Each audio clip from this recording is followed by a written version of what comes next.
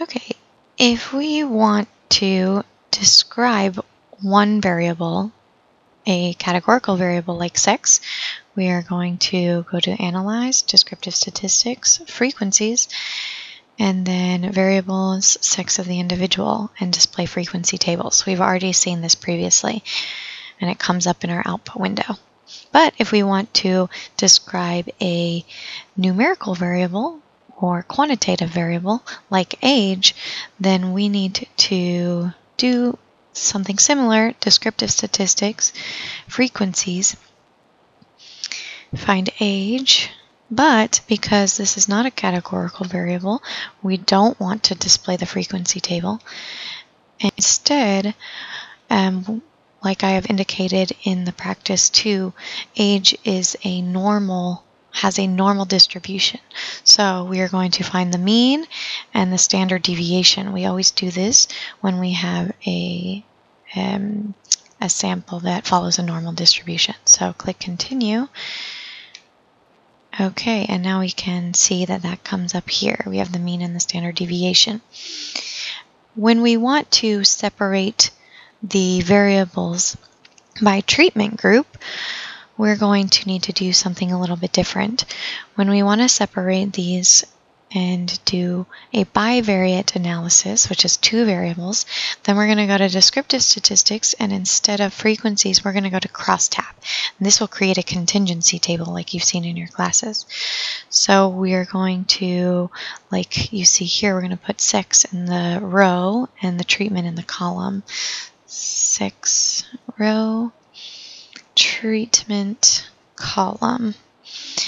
Okay, and we're going to want the percent of um, the different sexes that are in each group. So we're going to go to statistics. Um, sorry, not statistics. We're going to go to cells and we are going to click on percentages column because we want to see here what percent of men are in the new treatment group and what percent of men are in the conventional treatment group.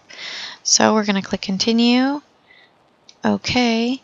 And now you can see that we can compare the percent of men that are in the conventional treatment group and the percent of men that are in the new treatment group and do the same with women. But when we want to separate by treatment with a quantitative variable like age, we're going to do something a little bit different. We're going to go to descriptive statistics. We're going to go to explore.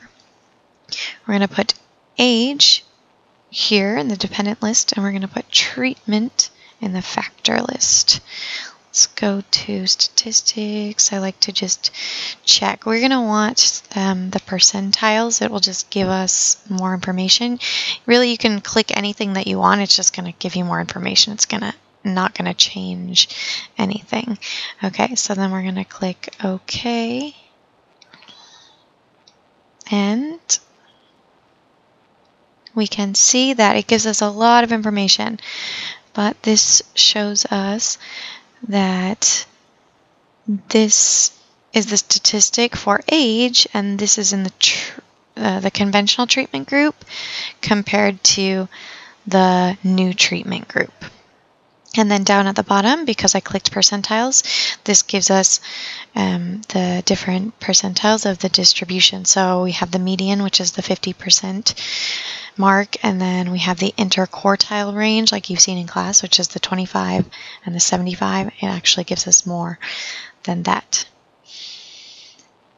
And so you can complete that. Oh, one thing that you need to remember is that when you find the statistics for a distribution that is not normal, such as dental plaque, like I've indicated here, you do not want to put the mean and the standard deviation.